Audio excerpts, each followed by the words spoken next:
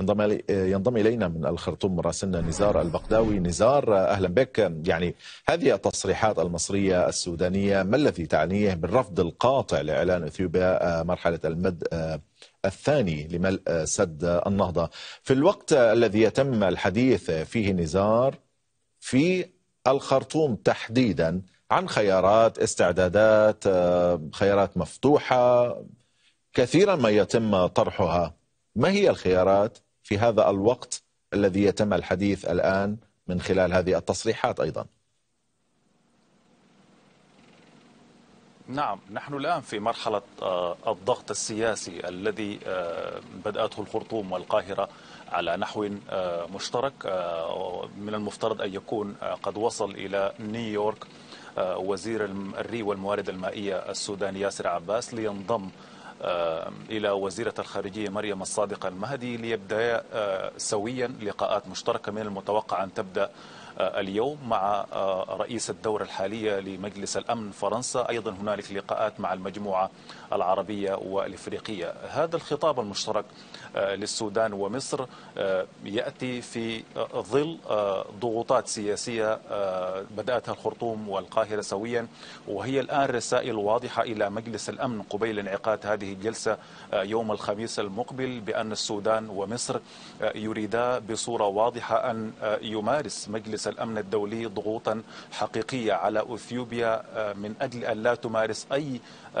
تصرف آحادي بملء سد النهضة وتشغيل سد النهضة على نحو آحادي دون أي اتفاق قانوني ملزم بين الدول الثلاث. أيضا هنالك نقطة جوهرية ومهمة يتحسب لها السودان وتتحسب لها جمهورية مصر أيضا.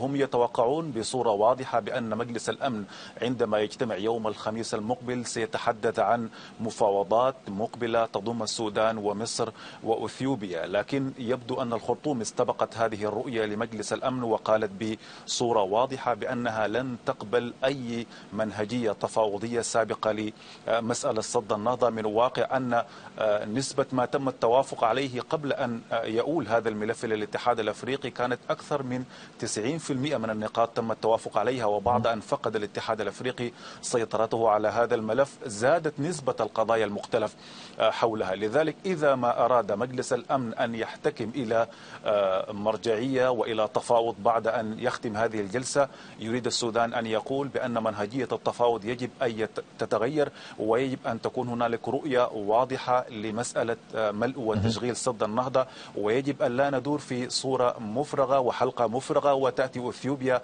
من ناحية أخرى وتتحدث عن نقطة تقاسم المياه. لذلك الآن هذا البيان وهذه الرؤية المشتركة للقاهرة وللخرطوم تريد أن تمارس مزيد من الضغط السياسي والضغط الدبلوماسي في ظل خيارات الآن بدأت تتحدث عنها الخرطوم.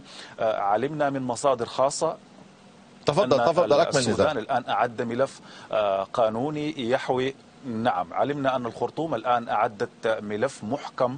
هذا الملف فيه حيثيات قانونية تتعلق بأمان السد بوثيقة أمان السد تتعلق أيضا بقضايا قانونية. يرى السودان أن هذا الملف سيدفع به في لحظة محددة وفي لحظة مناسبة وهو أحد الكروت التي يبدو أن الخرطوم تحتفظ, تحتفظ بها إذا ما تعقدت الأمور أكثر مما هو عليه. لكن هنالك توقعات بأن هذه الجلسة يمكن أن أن تساعد على خلق أرضية مشتركة يتمنى السودان تتمنى مصر أن أن تستوعب أثيوبيا كل هذه المخاوف طيب نزار يعني بعيدا عن موضوع التمنيات والأمنيات وذكرت بأن هناك أوراق تملكها الخرطوم ستحاول تقديمها.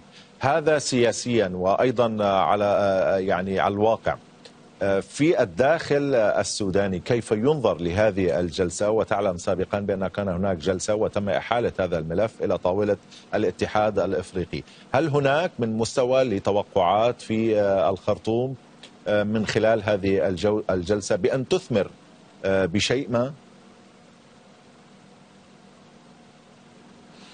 نعم الخرطوم حسب البيانات وحسب القراءات وحسب المشاهدات القبلية لهذه الجلسة الطارئة لمجلس الأمن. هي لا تتوقع أكثر من أن يقوم مجلس الأمن بدعوة كل من السودان ومصر وأثيوبيا لجلسة تشاركية للاستماع إلى وجهات النظر للاستماع إلى الرؤى المختلفة. ومن ثم يطرح مجلس الأمن رؤيته بشأن حل هذه المعضلة المستفحلة.